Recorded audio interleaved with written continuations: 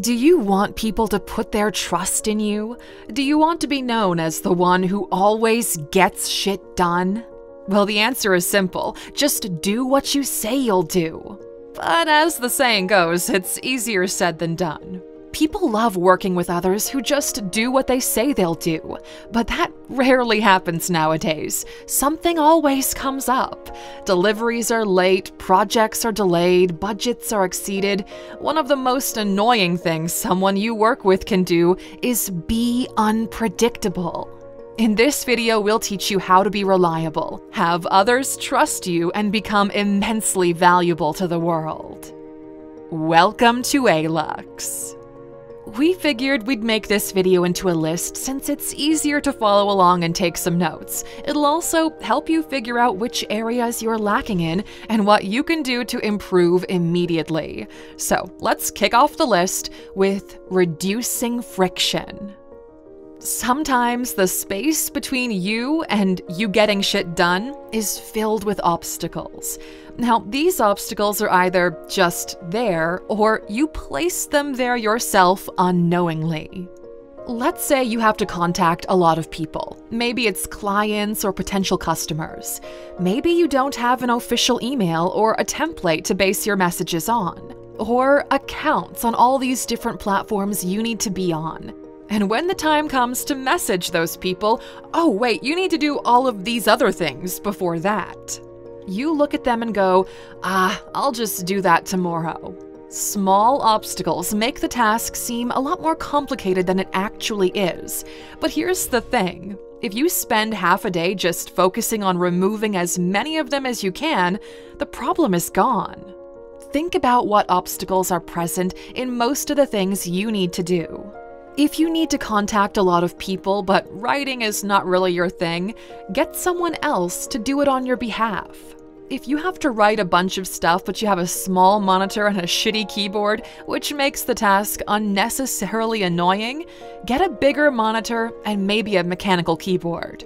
In other words, look at what things are making your job annoying or unnecessarily hard and remove or remedy them.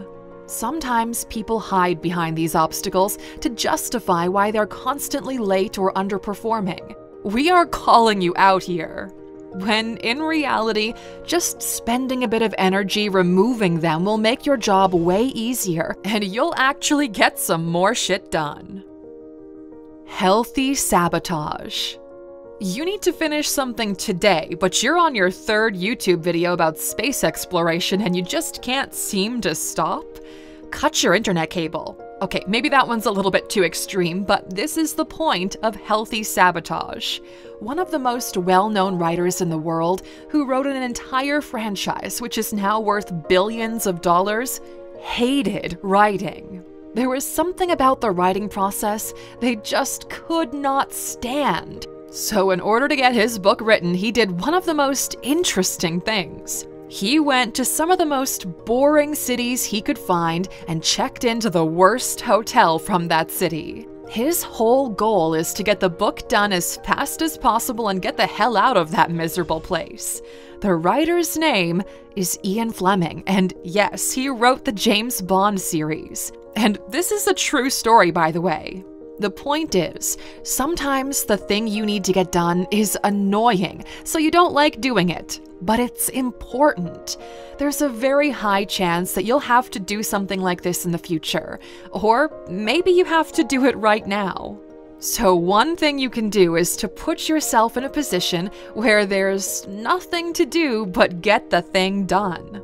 That might be cutting your internet, letting your phone die, going to a secluded place, or checking yourself into the worst hotel possible, and don't leave until you get your shit done. Loss aversion. This psychological phenomenon is fascinating to us because it works surprisingly well sometimes. In simple terms, you perceive an equal loss as far greater than an equal gain. So if someone steals 10 grand from you, you'll be way more angry than you would be happy if someone gave you 10 grand. You tend to perform better when you stand to lose something you already have than to gain something you didn't have before. For example, if you give your friend $5,000 and have him agree to only give it back if you lose 5 kilograms, you're more likely to actually do it. Now, this doesn't work the same for everybody, but it's worth testing out and seeing the results for yourself. Outside accountability. You can hate yourself for not doing what you said you would do, but you can also forgive yourself pretty quickly. But tell other people, people who you trust and respect, and things will be different. When people get a fitness trainer, they typically don't do it because they don't know how to do the exercises themselves. They do it because the fear of disappointing someone often pushes them to move their asses. After all, you don't want to spend all that money on a trainer and then not show up and look like a lazy idiot. Just imagine if gyms started putting pictures on the wall of those who enrolled in a program and never showed up afterwards. We bet that drop off rate would diminish substantially. Now, the point is, when you use outside accountability, it's not just you that you disappoint, it's other people as well. When you think of all the people who are depending on you to get the thing done, your mindset starts to change. It's bigger than you now. Short term rewards. We're wired to chase short term rewards, so why not use them to your benefit? It may take a little bit of willpower on your end, but do it right and you'll see impressive results. We bet there are lots of things that will excite you and pique your curiosity, and most likely those things will have nothing to do with your work. You'd sometimes rather spend the whole day reading and researching about AI or programming or drawing and rendering, and sometimes, since you work from home now, you do spend a full day doing that. Nobody can check up on you at home, anyways, but then you feel guilty for wasting a full day on something that doesn't have immediate value right now. But what if you made that a reward for getting something else done? What if you get the work done today and then you get to spend some hours on something that excites you in return? With this mentality shift, not only will you start getting more shit done, but you'll also not feel guilty for pursuing other things. Visualization. Where do you see yourself in five years? We never really understood why interviewers ask this question. It's not like everybody tells the truth. Mainly because they don't know. A lot can happen in five years. But here's the thing visualization can have tremendous power if used the right way. Here's an example. Let's say you want to lose 10 kilograms. You may want to see how you would look 10 kilograms thinner. There are probably apps out there that can do that. But how about this?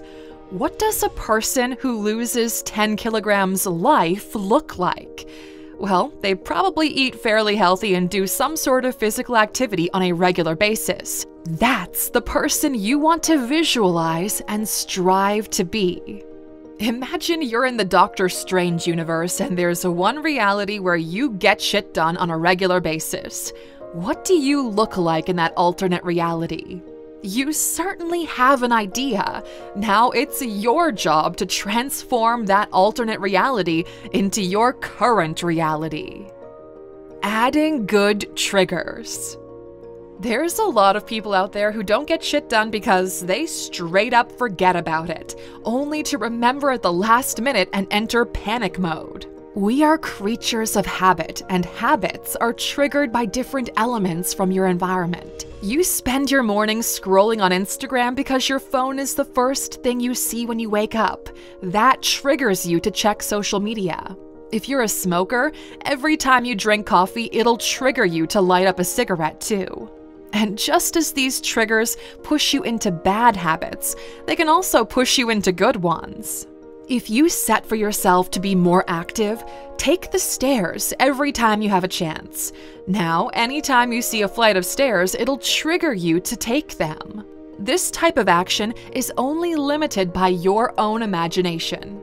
Find elements that trigger good habits and make you get shit done, then surround yourself with them.